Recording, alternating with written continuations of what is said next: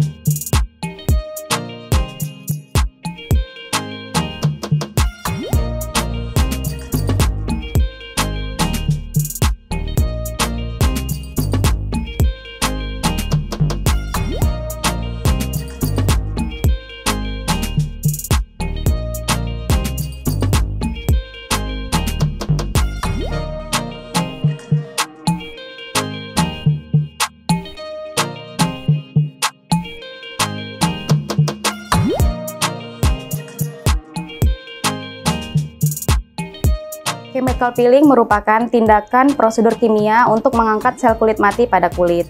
Yang boleh melakukan tindakan chemical peeling adalah dimulai dari usia remaja hingga dewasa tua. Jadi bisa dimulai dari usia 17 tahun sampai 50 tahun ke atas. Yang tidak disarankan melakukan tindakan chemical peeling adalah yang usianya di bawah 17 tahun, kemudian yang kulitnya lagi pengelupasan, kemudian kemerahan, infeksi, iritasi, dan e, terdapat luka di kulit. Jadi jika tetap kita lakukan, maka yang terjadi adalah e, nyeri dan juga terbakar pada kulit. Nah, bagian tubuh lainnya yang bisa kita lakukan tindakan chemical peeling adalah wajah, leher, lengan, area lipatan, kaki, dan juga bokong. Hasil yang didapatkan ketika kita melakukan tindakan chemical peeling yang pastinya adalah eh, kulit akan tampak lebih cerah lagi. Manfaat dari chemical peeling terbagi tiga sesuai dari prosedur yang kita lakukan. Yang pertama itu prosedur ringan. Biasanya prosedur ringan itu yang kita dapatkan adalah menghilangkan bekas jerawat, meratakan warna kulit, dan juga menghilangkan kerutan dan kulit kering. Prosedur sedang biasanya yang kita dapatkan adalah untuk menghilangkan kerutan, kemudian meratakan warna kulit, dan menghilangkan bekas-bekas jerawat. Yang terakhir, prosedur dalam itu biasanya untuk uh, kerutan yang lebih dalam lagi atau yang lebih banyak lagi. Jenis-jenis peeling wajah itu ada asam glikolat, asam laktat, TCA, kemudian e, karbol. Tapi biasanya yang paling sering kita gunakan di klinik adalah e, contohnya itu asam salisilat, biasanya kita gunakan untuk kulit-kulit berjerawat. Kemudian e, asam glikolat itu biasanya kita gunakan untuk mencerahkan kulit, menghilangkan kerutan, mengangkat sel kulit mati. Dan juga yang terakhir kita sering gunakan adalah TCA itu untuk kerutan, mengangkat sel kulit mati dan meratakan warna kulit. Perlu dilakukan seorang pasien sebelum tindakan chemical peeling itu yang pertama harus berkonsultasi terlebih dahulu. Kemudian yang kedua tidak menggunakan eh, bahan-bahan kosmetik yang uh, dapat menyebabkan eksfoliasi pada wajah ataupun iritasi pada wajah.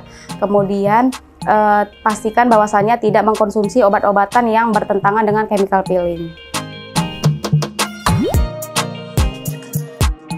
Cara peeling wajah dilakukan adalah tahapannya itu yang pertama kita lakukan cleansing terlebih dahulu pada wajah. Uh, jadi pastiin wajahnya itu bersih dari make up, debu, minyak dan dan yang lainnya.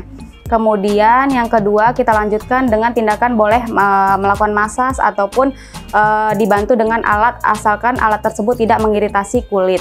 Kemudian langsung mengoleskan uh, bahan chemical peeling pada wajah uh, dan waktunya itu disesuaikan dengan jenis chemical peeling tersebut. Yang terakhir kita bisa melakukan proses pendinginan pada wajah tergantung dengan alat yang tersedia pada uh, klinik tersebut. Efek samping yang mungkin saja timbul setelah kita lakukan tindakan chemical peeling wajah itu biasanya kemerahan atau terbakar pada beberapa area kulit wajah ataupun alergi. Nah, biasanya jika ini terjadi, kita mengantisipasinya dengan memberikan antiritasi pada wajah pasien setelah tindakan chemical peeling. Dan biasanya kalaupun ini berlangsung ataupun terjadi, itu akan hilang sendiri dalam 3-4 hari setelah tindakan chemical peeling wajah. Chemical peeling sendiri di rumah itu sangat tidak disarankan karena chemical peeling adalah tindakan yang harusnya dilakukan oleh uh, ahlinya ataupun uh, medis. Jadi uh, kenapa tidak disarankan? Karena bisa berdampak sangat fatal yaitu terbakar ataupun uh, alergi pada kulit yang tidak diketahui oleh si uh, pengguna chemical peeling bebas tersebut. Mengenai produk chemical peeling yang dijual bebas di pasaran itu tergantung dari jenis produknya. Jika yang dijual adalah jenis chemical peeling soft peel itu memang disarankan dan boleh dilakukan di rumah. Tapi jika yang dijual ataupun yang dibeli adalah jenis chemical peeling yang harusnya dipakai di klinik oleh uh, ahli medis, itu tidak disarankan untuk menghindari faktor resiko ataupun efek samping dari bahan tersebut. Nah, sahabat secan, tindakan yang perlu kita lakukan setelah tindakan chemical peeling adalah menggunakan daily skincare yang tepat, kemudian pastikan menggunakan moisturizer dan juga sunscreen minimal SPF 30. Lalu hindari paparan sinar matahari langsung dan aktivitas yang bisa menyebabkan suhu panas pada kulit. Sahabat secan, yuk ikutin tindakan chemical peeling di klinik Ariana Audi Beauty Center.